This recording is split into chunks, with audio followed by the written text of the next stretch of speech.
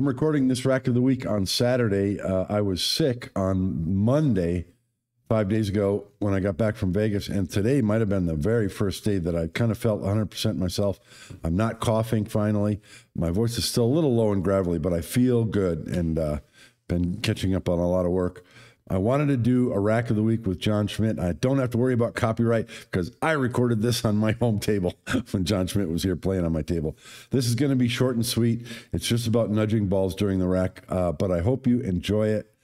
Uh, I think it's got a ton of value, and I'm going to be experimenting with it. So let's get into the rack. John comes to the table uh, after a missed break shot with 15 balls on the table. Take a look at his first shot choice.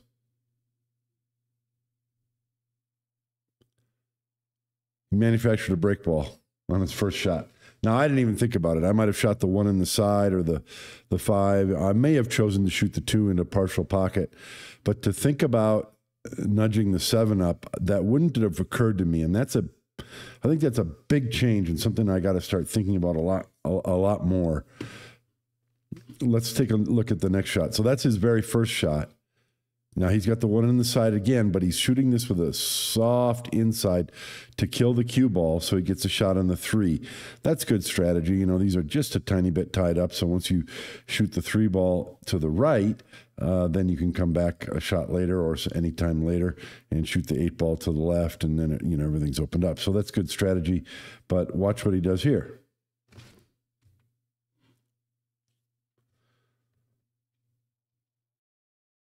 Nudge the seven ball over. There's there's absolutely zero danger in nudging that ball over, and uh, the benefits are tremendous. You're you're you're move, getting out of the way. Uh, John often talks about um, clearing paths to pockets. So he's clearing a path for one of these balls. Should he, maybe he'll shoot this ball later, and then he's got a path for this ball this way. Plus, you're putting the six ball in a better location. It's a little bit low, but the six ball could be a break ball as well.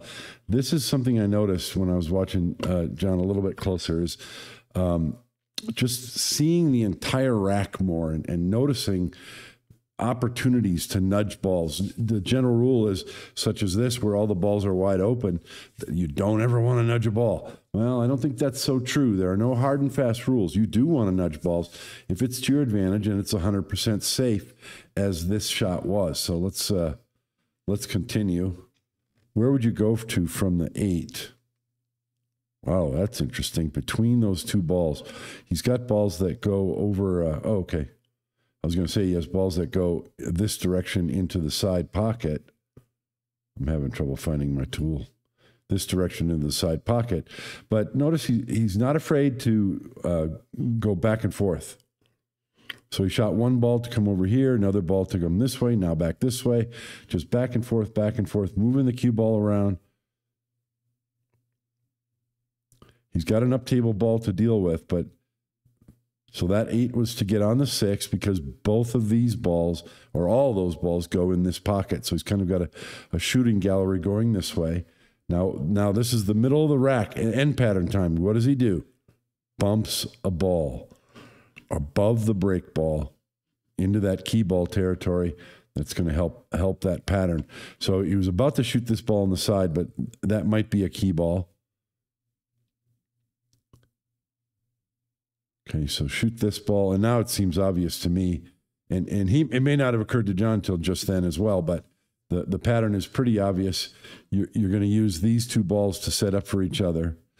Um, I think it's a bad idea to shoot the ball that he did in order to shoot this ball in the side to play position for the one in the side and then to use the eight to get on this because you're you're banking everything on landing on this one ball perfectly as key ball um, by leaving two balls down table, John is obviously going to shoot the uh, the one ball and go get the eight. Then you can play position for this ball to use this ball as key ball drawback, or you can play position. Um, you can come this direction. Let me clear my lines. You can come this direction to play position for this ball in this pocket, and then get position on this this ball on the side. So either way works. But the point is, these two balls play off from each other, um, and and so that's not a mistake. that John that he ended up leaving those two balls like that. But look at the benefit of bumping the one ball up here. If he didn't do that, he would have probably had to draw back and then play some other type of draw shot uh, from from the ball that was sitting from the one ball in this position in order to come up there. I think it's just a lot of situational awareness something that just really hasn't occurred to me and hasn't been a big part of my game. And I'm, I'm putting a lot more thought into that. Um, just kind of more situational awareness, seeing the whole table and those little opportunities to bump balls. This is just a, a small example, but I tell you, as I was watching watching John play, uh, rack after rack, he was doing it again and again and again.